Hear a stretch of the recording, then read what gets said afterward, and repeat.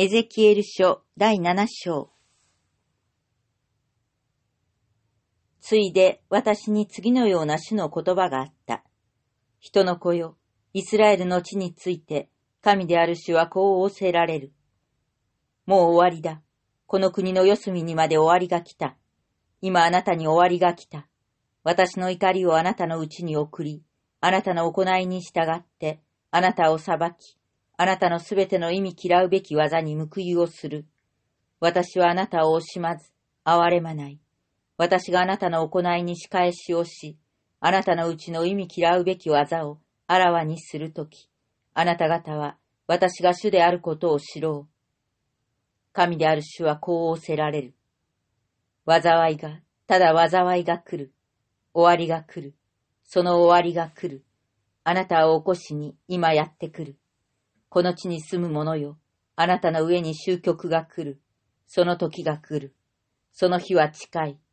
しかし山々での感性の日ではなく、強行の日だ。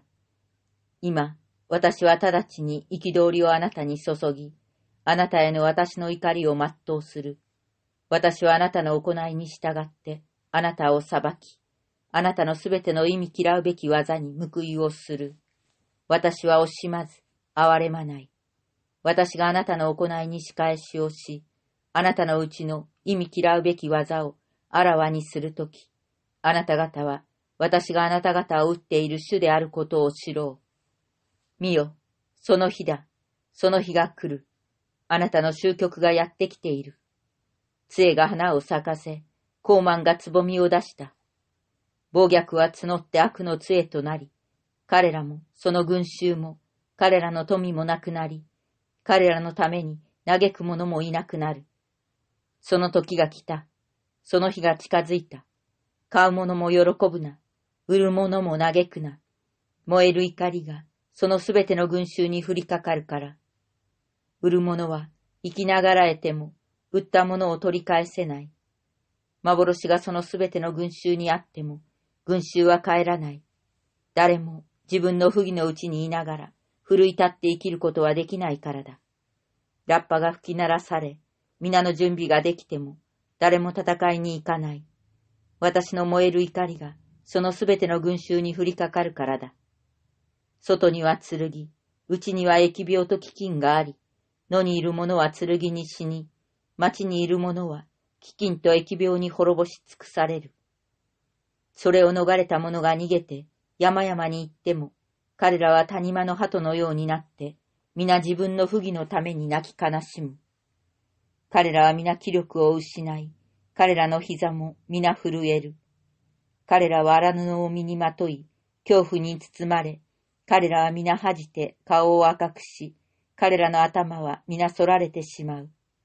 彼らは銀を道端に投げ捨て、彼らの金は汚物のようになる。銀も金も、主の激しい怒りの日に彼らを救い出すことはできない。それらは彼らの上を飽きたらせることもなく、彼らの腹を満たすこともできない。それらが彼らを不義に引き込んだからだ。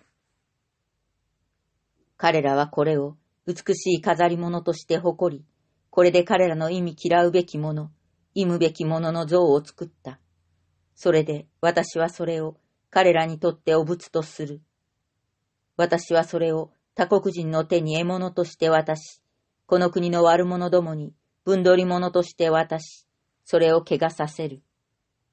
私は彼らから顔を背け、私の聖なるところを怪我させる。強盗はそこに入り込み、そこを汚そう。鎖を作れ。この国は虐殺に満ち、この町は暴虐に満ちているからだ。私は違法の民の中で、最も悪い者どもを起こさせて、彼らの家々を占領させ、有力者たちの高ぶりをくじき、彼らの政治を怪我させよう。苦悩がやってくる。彼らは平和を求めるが、それはない。災難の上に災難が来、噂が噂を生み、彼らは預言者に幻を求めるようになる。祭司は立法を失い、長老は悟しを失う。王は喪に服し、君主は恐れに包まれ、その地の民の手は罠なく。私が彼らの行いに従って、彼らに報い、彼らのやり方に従って彼らを裁くとき、彼らは私が主であることを知ろう。